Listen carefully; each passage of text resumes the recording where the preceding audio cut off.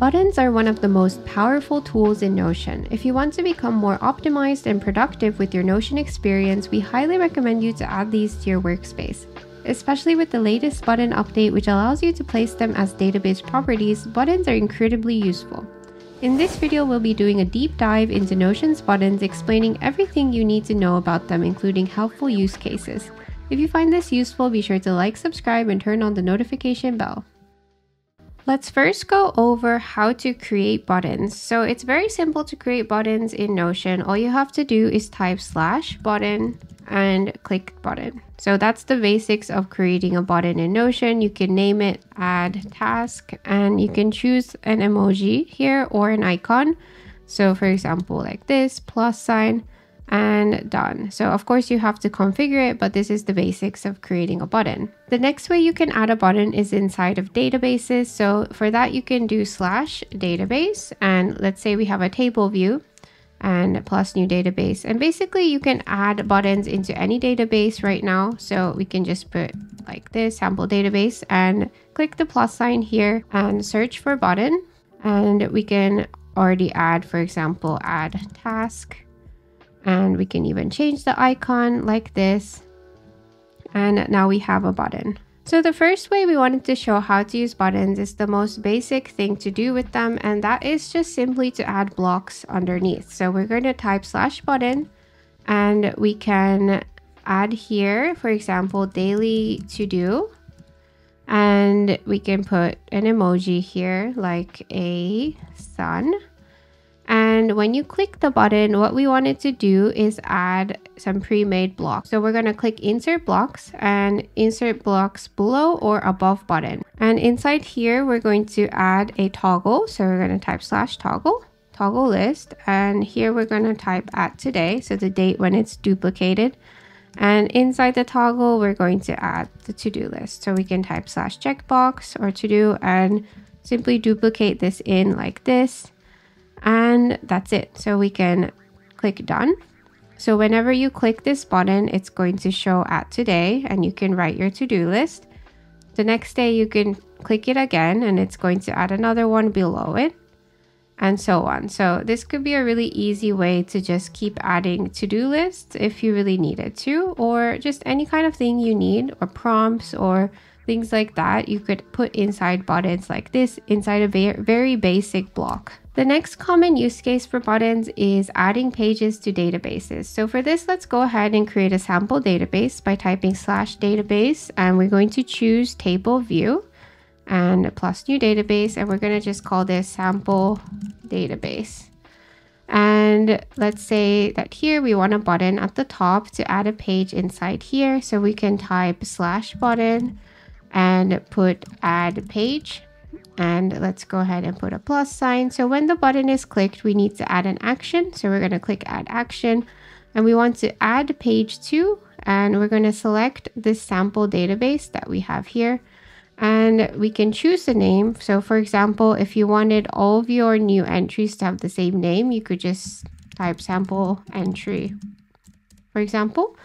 And you can also edit other properties if you need to and done. So now what this does can just add a page, add a page like this. So this is another really easy way to use buttons. And one more thing to note is if you want to actually open the page up after you click it, you can also configure that. So let's say that we want to add another step and that's to open the page. So then you can go to select page, new page added and then done. So now when we add a page, we actually see the page here as well, opened up and you can click out.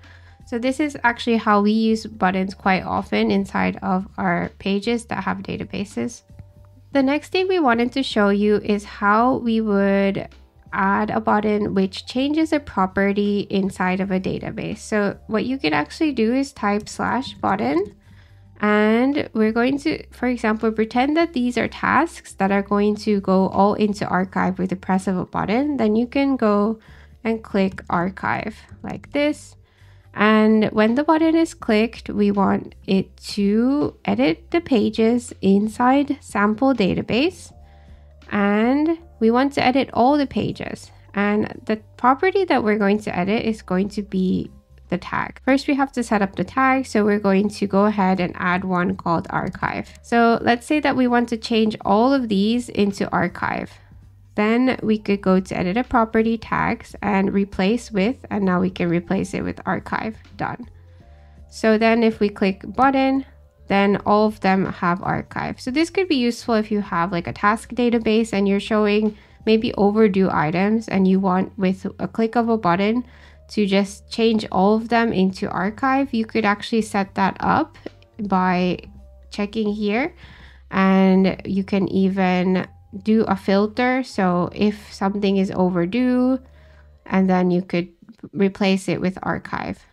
The next thing we wanted to show is when you add a button inside of a database entry. So we can actually open up the sample entry and let's go ahead and add another tag, which is going to be called complete.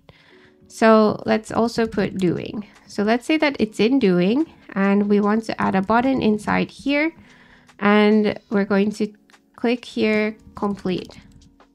So when the button is clicked, we're going to edit the page property. So this one, and we're going to set it to complete and done.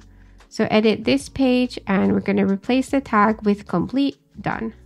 So now maybe we type in here and we're done. We could click complete and it's going to just automatically change it. So this can also be a really useful way to add this button. And you can even add that as a database template. So let's say that we go to plus new template and this is going to be a new entry. And inside here, we wanted to add a button. We can actually add complete button here, add an action and change the tag to complete, done. So now let's say we open another sample entry, we choose the new entry database template and we can just click complete to complete it. The next thing that we wanted to show is the confirmation dialog. So let's say that before you archive everything, we wanted to actually have a confirmation dialog since that's a pretty big deal. So we can actually add another step and this is going to be show confirmation. So we can do, are you sure you want to archive everything? And then you can either continue or cancel. And these are also editable.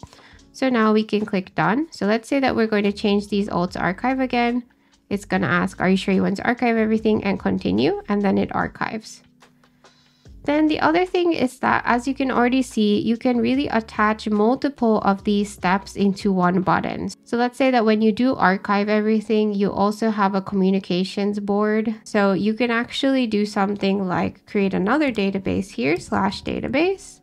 And let's say this is table view plus new database. And this one's going to be sample database too. And let's say that we want to add an item inside of this notifying about the archive situation. So we can also already go ahead and maybe mark these as doing first. And let's say that we're going to add another step here. So we're going to add another step, which is to add page to. And we are going to add the page to sample database number two, and it's going to be called all tasks are archived. So when this happens, if we walk through this, all pages that match this in sample database are going to be replaced with archive. Then it's going to show a confirmation message if you're okay with that. And then it's going to add a page into sample database 2 saying all tasks are archived. And we can even add another step, which is going to be to open that page that we just added, new page added in Center Peek. So let's see what happens when we click this button. So we're going to click archive and it's going to ask us, are you sure? We're going to say yes. And then it's going to send us to this page, all tasks are archived.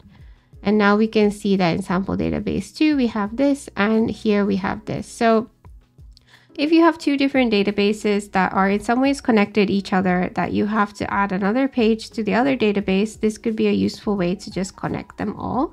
So another way that we often use Notion's buttons is actually as a navigation system. So let's actually build a page called homepage by clicking slash page. And we're going to be calling this homepage. And inside homepage, let's say we have a page that's called about us. And inside here, we want to add a button that's going to return us to the home page. So we're going to type slash button and we're going to call this return home. And when the button is clicked, we want to open the page in full page and this page is going to be called home page. And we can just click this, done. So now if we click return home, it's going to return to our home page. If we go to about us, it's going to go back here. So this is a really handy way to move back and forth between pages and kind of make it feel like a web page. So we use this quite often in our Notion templates. So the next thing we wanted to cover is the new database buttons. So in this case, we are going to be adding buttons inside of databases. And the first use case we wanted to show you is a button that would mark your entry as done and also add a completion date. So for that, you can click plus here and we'll add a button. So that's very simple to add. And when the button is clicked, we're going to change the tag to complete. And we also want to show the completion date. So we're going to add another property, which is going to be the completion date. So we're going to choose a date property and rename it completion date. And we can even move the button over here so it's easier to see. And we're going to edit this property. So when the button is clicked, edit this page, replace with complete. And we are going to edit another property, which is the completion date. And we're going to choose now. So now let's try the button. We click it and it's going to complete and it added a completion date automatically.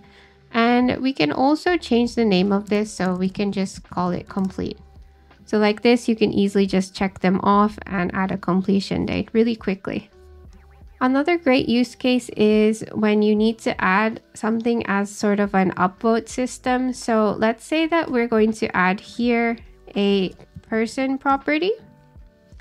And we're also going to add another field here, which is going to calculate the number of person in there. So we're going to go to formula and we're going to edit the formula. So we're going to go person dot length.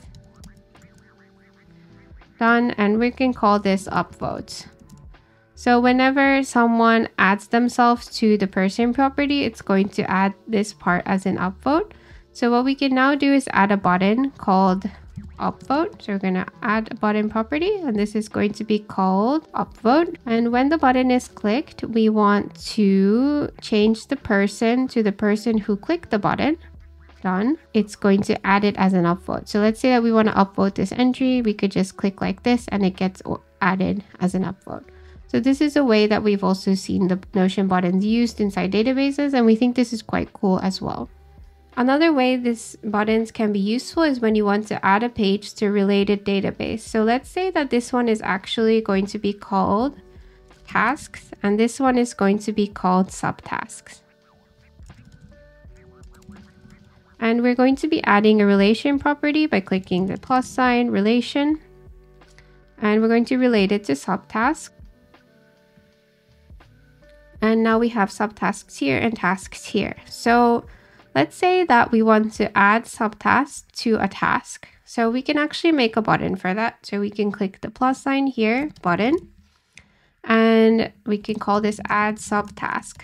And when the button is clicked, we're going to add the action, which is to add the page to subtasks. And we want to edit the property, which is the tasks, and select this page.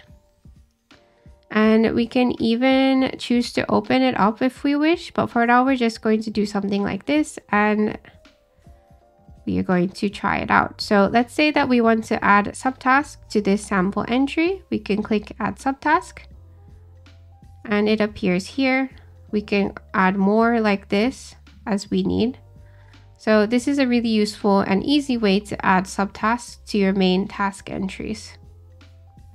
Another really cool way to use Notion's buttons is to add start and end times. So let's say that you might be creating like a Pomodoro tracker or something. You could click the plus sign here, click a button, and we actually need two date properties. So we're going to also add that date and name this start date. We're going to name this start time. And we can duplicate this one and we'll call this one end time. And we'll have a button and this one is going to log your start time. So let's go ahead and edit this button, edit property. So when the button is clicked, the start time is going to be now for this page. And we can rename this start. And we can duplicate this property and we're going to call this one end and we're going to edit the property. And when the button is clicked we're going to change the end time. We're going to select now.